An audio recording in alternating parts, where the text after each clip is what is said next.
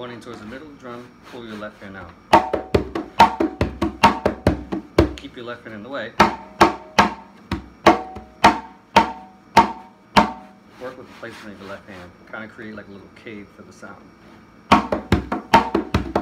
Has to uh, resonate. So you can't be too flat. Unless that's what you're going for.